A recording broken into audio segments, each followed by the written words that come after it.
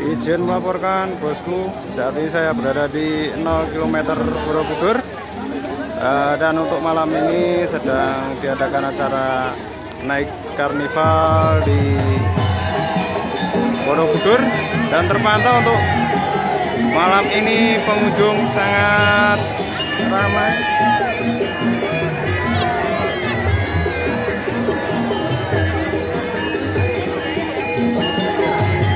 dan acara naik karnival ini diikuti sekecamatan Borobudur.